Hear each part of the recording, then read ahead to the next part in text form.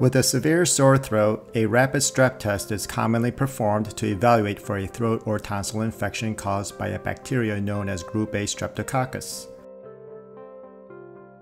A rapid strep test is performed by first swabbing the throat and running the test on the swab using a kit made specifically for this purpose. To start, 4 drops of reagent A containing sodium nitrite is placed into the extraction tube.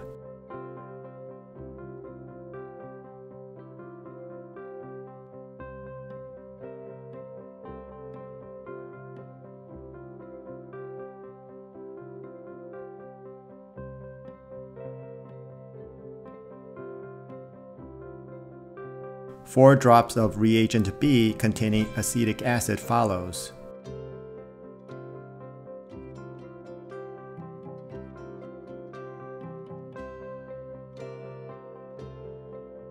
The two smaller bottles included in every kit are used only for quality control purposes and not used for actual testing. The solution is then mixed.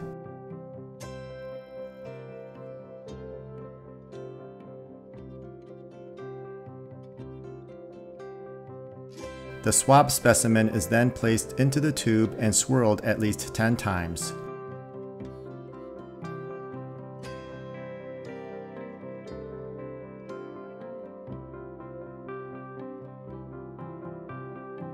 The swab should remain in the tube for one minute after which it is removed while squeezing the swab head to remove as much liquid as possible.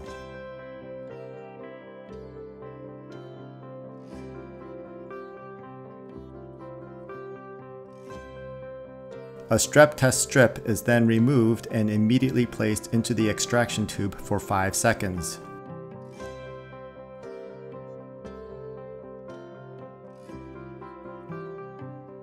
The strip is then removed and laid flat for 10 minutes. Here is a 10 minute rapid time lapse showing a positive strep test result. The red arrow points to the control to ensure the test is valid. If this red band is absent, any test results would be considered erroneous and needs to be repeated. The blue arrow points to a second band that should appear if strep is present. As such, if two bands are present, the patient has strep and should be treated accordingly. Here is a 10 minute rapid time lapse showing a negative strep test result. Note that the red arrow points to the presence of a control band indicating a valid test. Given the absence of a second band, this test would be considered negative and the patient would not be considered to have strep throat. So how does this test work?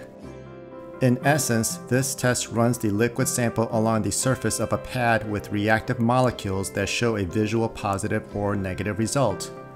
The pads are based on a series of capillary beds which has the capability of transporting fluid spontaneously via capillary action like a sponge. This testing technique is called lateral flow assay.